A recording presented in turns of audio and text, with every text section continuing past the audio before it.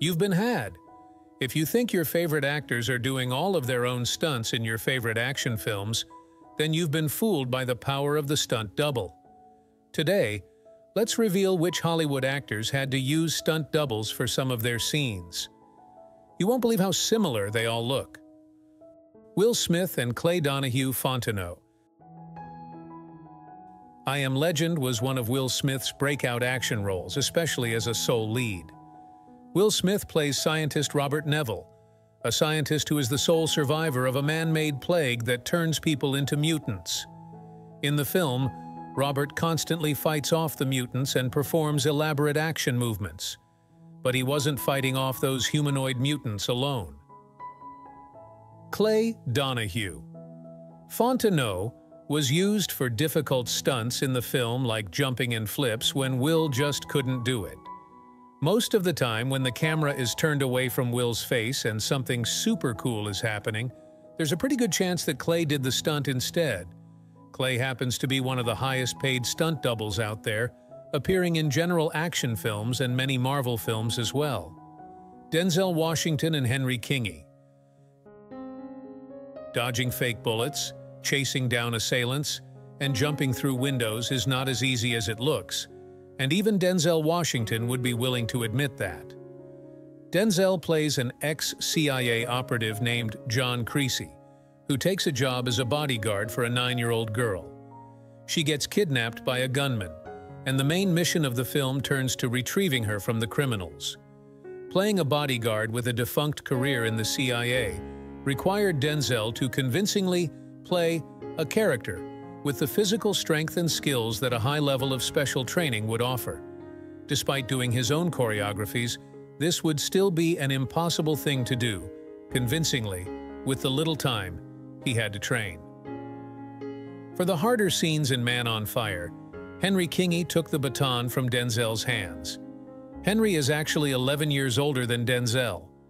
He somehow managed all the action scenes way better than Denzel could ever dream of. Samuel L. Jackson and Tony Todd. Samuel L. Jackson's character Nick Fury has action scenes that are few and far between and usually not as acrobatic as the usual superhero fights on screen.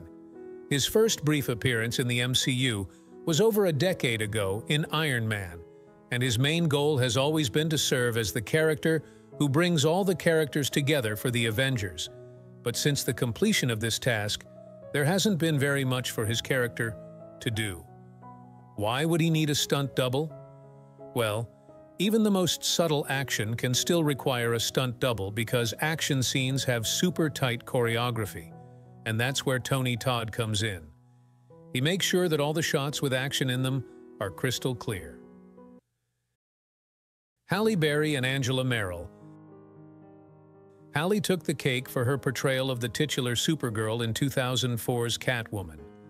Even with CGI, training, and choreography, a regular person would most certainly struggle to hit all the postured poses while also performing gritty, fast-moving action scenes. To keep the illusion together, Angela Meryl stood right behind Halle in the same costume, ready to do the jumps and kicks. Angela and Halle are the same height and have the same skin tone, so they look nearly exactly the same. We sure couldn't tell. However, for the most part, Halle takes credit for most of the action scenes of the film. She made an active effort to do most of the scenes herself, which reduced the need for her stunt double and special effects to help with most of the action. Michael B. Jordan and Kofi Yiadom. A fight scene at the edge of a waterfall is a truly insurmountable feat to take on. Even Michael B. Jordan, as athletically experienced as he is, needed the help of Kofi Yiadom for some of the scenes for the fight choreography and fast-paced action scenes. To play Killmonger, he had to train for months on end, seven days a week with his personal trainer Corey Calliet. For the most part, the figure he had to build was just for aesthetic purposes. In most scenes where male actors are shown shirtless with impossible highlighted muscles, they are extremely, unhealthily dehydrated. Being dehydrated can help define the visibility of their body on the camera.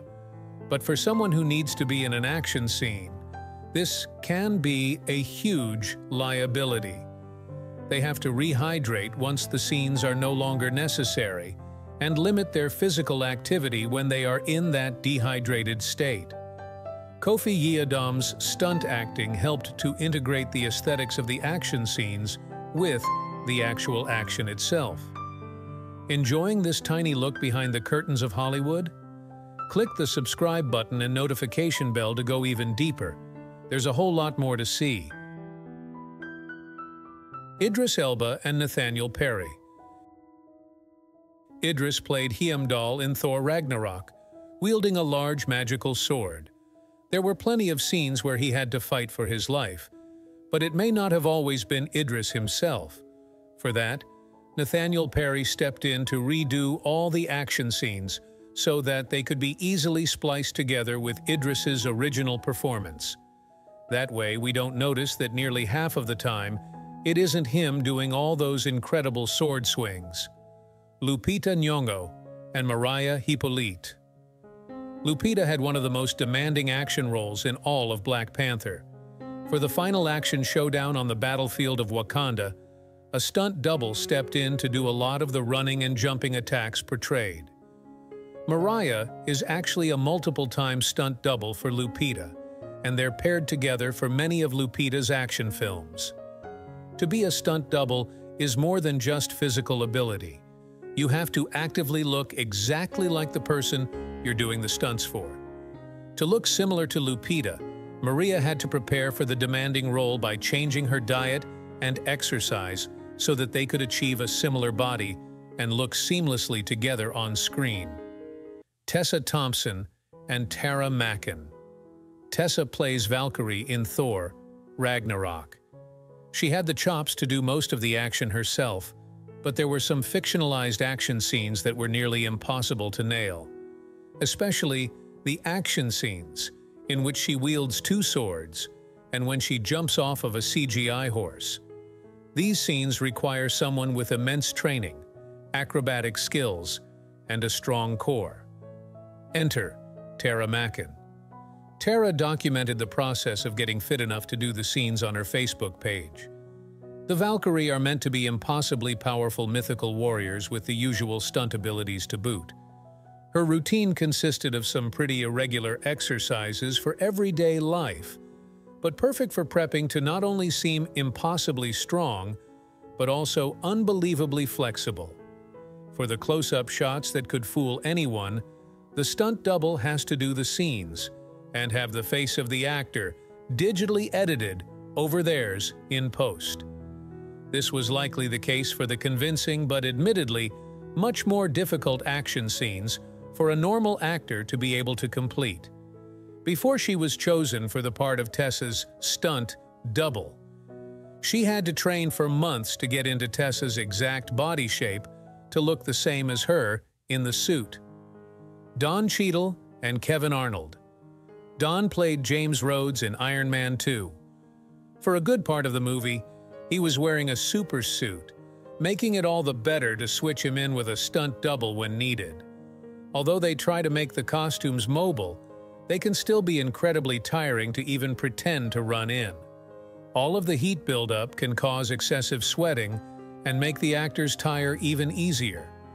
To help keep up with the action needed and release strain on the actor, Kevin Arnold stepped into his own suit to play the more demanding scenes, especially the action scenes in which James Rhodes has the mask of his suit on. Regina King and Sadiqa Bynum. Regina is one of the most versatile actresses in Hollywood, and in 2019 she tried her hand at her first action role for the series Watchmen. She plays Angela Abar, and for her first time in a leading action role, she blows it out of the park. Angela continues her role as a police detective during the day and becomes Sister Night when the sun goes down. But we should all be a little suspicious of crazy action scenes where her masked character performs some impossibly sick moves and action choreography. The character Sister Night performs martial arts and acrobatic moves whilst fighting off criminals nearly twice her size and there's more to this than just the power of movie magic and choreography. This is where Sadiqa comes in, a stunt double with a background in gymnastics whose specialty is flipping. Sadiqa and Regina have similarly muscular bodies and a strong build, so she didn't have to change her body very much to get the role. The entire bunker fight scene episode was shot with Sadiqa, with only a few parts having Regina in them because of how demanding they were. Chadwick Boseman and Guy Da Silva Green. As the main character of Black Panther, Chadwick definitely had a lot of work ahead of him. For the most part, he trained to do most of his own stunts. Despite this, they still needed a stuntman for the more elaborate action scenes. In the fight scene between Chadwick's Black Panther and Hawkeye, Guy Da Silva Green stepped in to complete the triple kick choreographed for the scene. He also stepped in for scenes including any graceful acrobatic jumps and more elaborate kicks. The stringing up on green screens required to make these scenes possible can cause a lot of strain on an untrained person, so a stunt double is required. Chadwick actually had three different stunt doubles at different points. He decided not to take the risk of harming himself and opted to leave the harder stuff to a professional. Including Guy, his other two stunt doubles were Daniel Graham and Anis Cherfa, John Boyega and Karanja York. John Boyega played Finn in Star Wars, The Force Awakens, a role that required quite a few fight scenes. While an actor can be trained to practice their own fight scenes, it just doesn't come off the same on cameras as it would with someone more experienced with the form required for certain fight scenes. For these, Karanja York stepped in to save the day, literally. For high-intensity fight scenes and even some of the fast-paced running scenes, Karanja filmed on the character's behalf. Wesley Snipes and Clay Fontenot. Wesley Snipes may be one of the most prolific black action actors of all time, but even he would need the help of a stunt double to pull those insane moves off. For Blade 2, he was helped out by, once again, Clay Fontenot. They look surprisingly similar when they're both wearing the costume, and with a little help from the makeup department, they were basically twins on screen. Wesley prefers to do films with action in them that require his background in martial arts acting. In an interview with Android TV, he claimed that even though he did have a stunt double to help him out, he does most of his own stunts all by himself. Clay and Wesley are both trained in martial arts, so Wes doesn't have trouble fulfilling most of his own action scenes. He has a fifth degree black belt in Shotokan Karate and a second degree black belt in Hapkido. Along with this, he's trained capoeira, kung fu, jiu-jitsu, and kickboxing. When choreographing the fight scenes for films, he tries to incorporate these skills into his action movements in a way that looks seamless. Only the most risky of his stunts are left to Clay, Anthony Mackie and Aaron Toney. As Sam Wilson in Captain America, The Winter Soldier, Anthony had a more difficult job than most ahead of him. Falcon has a lot of scenes where he was to be in air, or at least appear to be. But this isn't done by just as many green screens as you may think. A lot of times the actor has to be propped on a pole in front of a green screen and maneuvered by stagehands. This can cause a lot of strain on the body and requires a lot of balance. For these scenes, Aaron Toney would be filmed instead, as well as for some of the fight scenes. They are eerily similar, and they have been working together for over a decade now. Jada Pinkett Smith and Natasha Hopkins. Jada played Niobe in The Matrix Reloaded, and anyone who worked on The Matrix needed a stunt double, and she was not an exception to the rule. Even years later, it still has some of the most impossibly elaborate fight scenes in action film history. While Natasha Hopkins is an actress in her own right, she's also a trained stunt woman, and she stepped in to do part of Jada's more intense fight scenes. Tyrese Gibson, and Larry DePaster. Did you know that stunt drivers were a thing? Even for some of the most insane race car scenes, a strained stunt driver has to take the wheel to make those perfect dramatic turns that would take actors years to learn. In the Fast and Furious series, Tyrese is portrayed as Roman Pierce, who's meant to be as nifty behind the wheel as a trained racer. Really, Larry DePaster, a stunt driver, was behind the wheel for a lot of those scenes. According to the Toronto Film School, most actors are not allowed to perform their own elaborate stunt driving scenes because it's just too dangerous if they aren't properly trained. If something goes wrong with the car and an actor is in it, it can put a wrench in the shooting of the entire film. In more scandalous news, Tyrese Gibson and Paul Walker were unknowingly in relationships with the same stunt double. Cindy Leon was working as the stunt double of Eva Mendes on the set of Fast and Furious and during an interview she made some crass comments about the two men on the cast that she slept with. Tyrese later revealed that it was true, although it was unbeknownst to them until it was all over. When they found out from each other, curiously, they both decided to continue their relationships with her. Zoe Saldana and Chloe Bruce. Zoe Saldana plays Gamora in Guardians of the Galaxy. As the character has green skin, it made it all the easier to swap her out with a stunt double at times to get that perfect action scene shot. When Zoe would get painted up and ready to shoot, Chloe Bruce was right on set with her getting painted and dressed up too, so they could easily look identical on camera. Chloe Bruce performed the majority of Gamora's jailbreak fight sequence as well as her first fight with Nebula. Stunt doubles don't always have to have the same skin tone, especially in this case, where the character being played has a non-human skin tone anyway. In cases like this, their skill and form are much more important than whether they can pull off stunts while convincingly looking like the actor in the same costume. Back in the 60s, there was no such thing as a black stuntman. Usually, a white stunt double would come and be painted darker to do the scenes. The most well-known and possibly the first case of a black actor refusing to have a non-black stunt, double represent them, was when Bill Cosby had to play Agent Scotty in I Spy and refused the stunt double he was offered. He demanded that a black stunt double, Calvin Brown, do his scenes instead. Lance Reddick and Dwayne Johnson. Lance Reddick plays Charon in John Wick. Dwayne Johnson helped out with some of the action scenes he had. The role wasn't quite as intense, but stunt doubles are used to get things exactly right.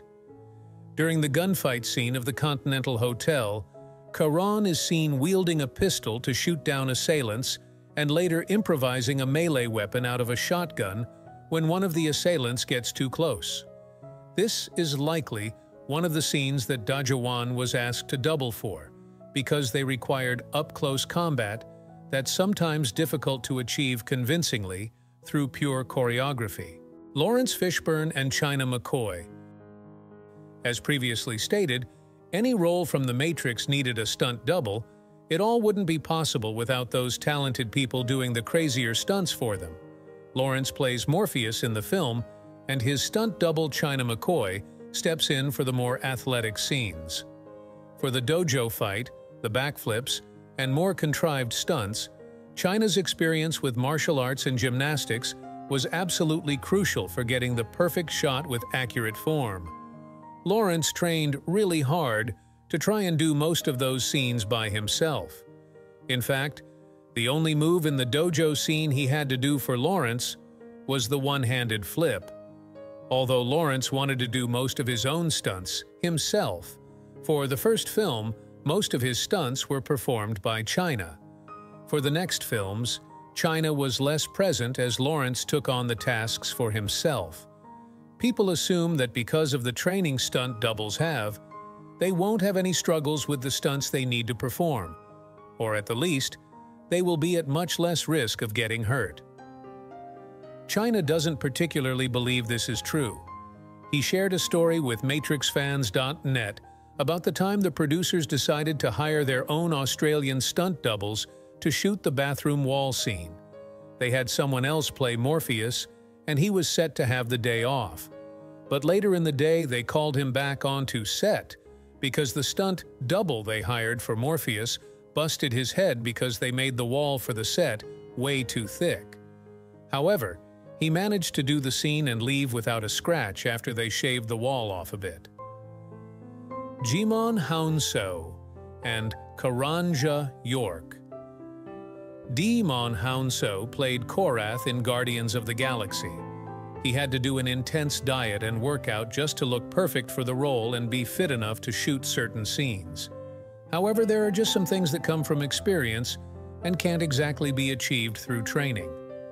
Another repeat offender here is Karanja York, who was used sparingly as a double for Djimon's fight scenes. Click on this next video and get an even better look at who your favorite actor really is behind the scenes. What would you like to see next? Let us know down below.